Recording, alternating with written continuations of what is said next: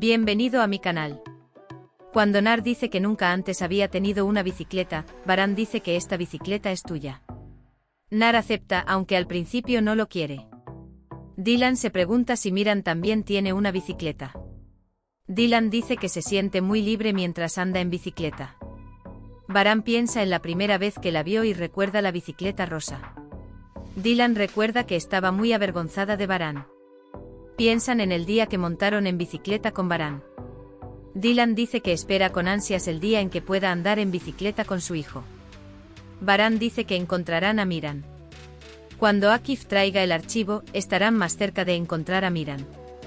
Acer le pide a Tark que actúe ante Baran y tome precauciones. Zeida se acerca a Tark y Acer y les pregunta por qué golpearon a su hermano. Acer dice que entiende que no debería hablar más. Esto también se aplica a Zeida. Baran quiere que Nar ande en bicicleta. Pero Nar no sabe andar en bicicleta. Baran dice que puede enseñarle a Nar. Nar primero mira a su alrededor y acepta. Baran y Dylan los llevan juntos a dar un paseo en bicicleta. Tark ve a Baran y Dylan desde la ventana.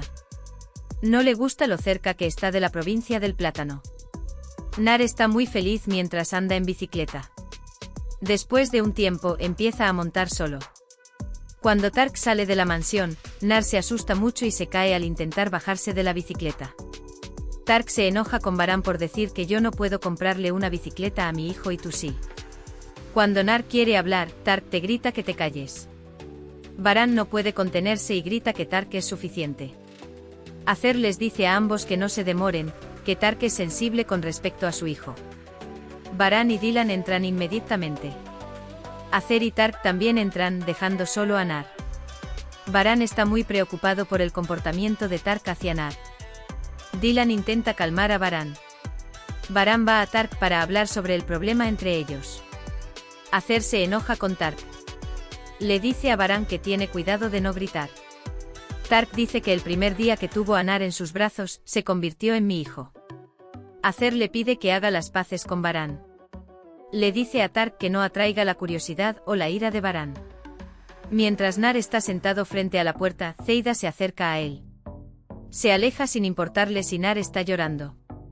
Dylan acude a Nar y le dice que su padre está preocupado por él.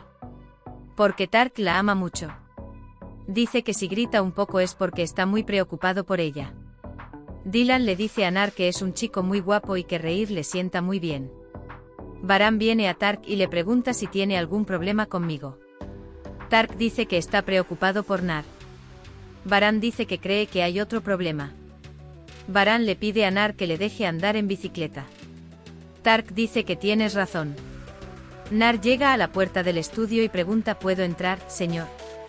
Nar le dice a Tark, sé que me amas mucho y estás preocupado por mí.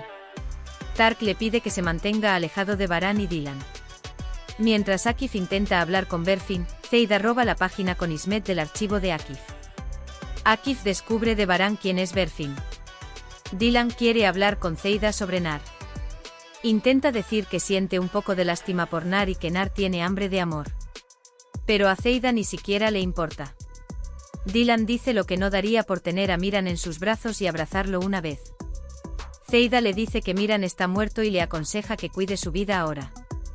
Dylan está muy molesto por las palabras de Zeida. Quiere reunirse con su hijo lo antes posible. Baran y Dylan van a devolverle la bicicleta a Nar. Asibe dice que tiró el papel que robó Zeida. Zeida se siente aliviada. Baran y Dylan le dan la bicicleta a Nar junto con Tark. Baran le dice a Nar que puedes andar en bicicleta si promete hacerlo con más cuidado. Nar recuerda que su padre le dijo que no tomara nada de lo que le dieron Baran y Dylan. No quiere la bicicleta. Acer y Tark están preocupados por el expediente que trajo Akif pero Zeida los tranquiliza. Nar sufrió mucho cuando dijo que no quería una bicicleta. Toma una hoja de papel para hacer un dibujo de la bicicleta. El documento que Zeida robó del expediente contiene información de Ismet. Baran y Dylan sienten mucha pena por Nar. Dice que intentarán evitar que Miran se sienta inseguro. Nar crece sin amor, nadie le seca las lágrimas.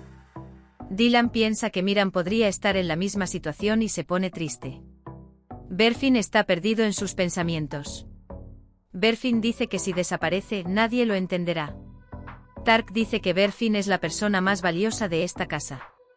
Aunque Berfin y Tark son gemelos, Berfin lo llama hermano. Berfin quiere tener un pasatiempo. Tark comenta que le gusta coser y bordar y que puede volver a hacerlo. Baran y Dylan se dicen palabras amorosas. Vivir es envejecer contigo, vivir es sentirte seguro entre tus brazos. Rejuvenecer contigo en cada edad, despertar contigo, amado mío, a quien llamas vivir. Baran y Dylan se toman de la mano con fuerza. Sus ojos son inseparables el uno del otro.